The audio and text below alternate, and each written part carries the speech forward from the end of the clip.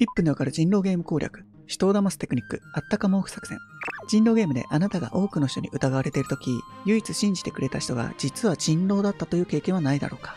みんななんだよ、市民だ。理不尽だよ。分かってくれるのはこの人だけだ。そいつは人狼だ。気をつけろ。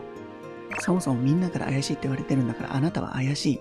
そんな怪しい人を人間だって信じてくれる人はものすごく見る目がある人間か答えを知っている人狼だ。逆になぜ人狼を信じてしまうのか。それは大きなストレスにさらされた時、垂らされた糸に人間はしがみつきやすいという洗脳の教科書の1ページ目にも載っている現象だ。もしあなたが人狼となった時、他の人に疑われ、子羊のような目をした人がいたら、分かってるよ、人間なんだろう、と優しく毛布をかけてあげよう。そのぬくもりにあなたのことを信じ疑わなくなるだろう。逆にあなたが人間で毛布をかけられた時、勇気を持ってその毛布を振り払う心の強さを持とう。対策すればゲームが楽しくなる有意義な人狼ライフをお過ごしください。